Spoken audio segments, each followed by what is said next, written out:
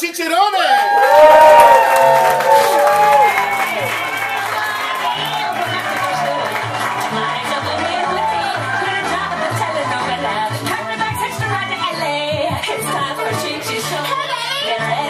It's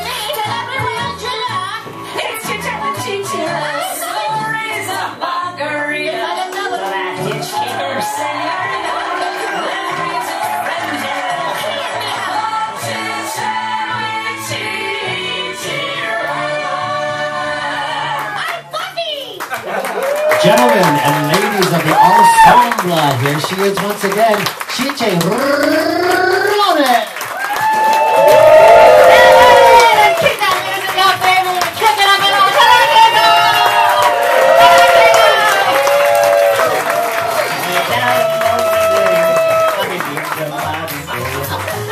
So you got a lot of extra cups. They got. A lot of coffee. You can't get cherry soda. They gotta do their quota. And the way things are, I guess they never will. They got it all. Lot of coffee in Brazil. No sweet tea or tomato juice. You'll see. No potato juice. Cause planters down in Santos all say no, no, no. Hey, a politician's daughter was accused of drinking water. I was fined a great big fifty dollar bill. They got an awful lot of coffee in Brazil. Good evening, baby,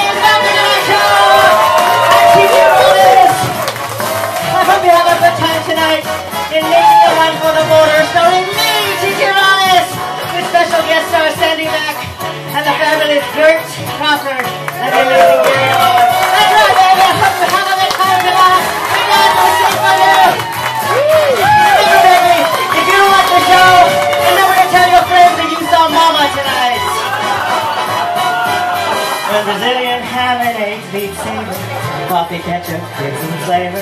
Coffee pickles way out Salvador. While they put coffee in their coffee in Brazil. You date a man and find out later he smells like a percolator.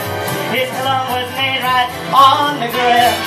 Why they her to the ocean in Brazil. Don't ask, never ask, baby. Or I'll go say, you got local there.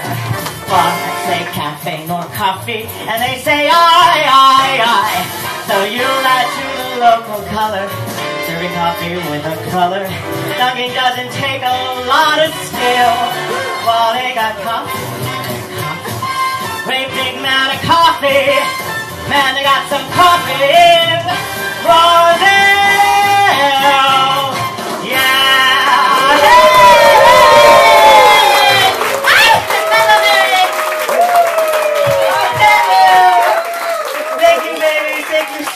for coming out tonight. On a Tuesday night, I greatly appreciate it. Thank you, JT and Mr. Dan, for figuring out the uh, back here. When they came back to tell me, I thought, are you kidding me? I got a, a nice house out there. What am I going to do? Story tell all that fun? Give me a cocktail. Uh, I just got back uh, from a cruise through the Mediterranean. And uh, a couple of weeks ago, and I was there with my parents who are here tonight. Somewhere in the audience. Mommy and Papa. And uh, we celebrated their 50th anniversary, and they were on an all-gay cruise. How marvelous is that, baby? I know. A friend of mine said, "You're taking your parents on an all-gay cruise," and I said, "Absolutely." And uh, you know, of course, you have to have the talk with them before you go. And, and uh, week before I went, I sat them down. I said, "You know." You're probably going to see a lot of things on this cruise you may not have ever seen before. And my dad said, Well, like what? I said, Well, like on Uniform Leather Night, you might see somebody in chaps. And uh, my, my dad said, What? And my mom said, You know, chaps like the cowboys wear. And I said, Yes, except they're not going to have any underwear on. Their ass cheeks are going to be hanging out. And my mom said, Do you think they'll let us get a picture?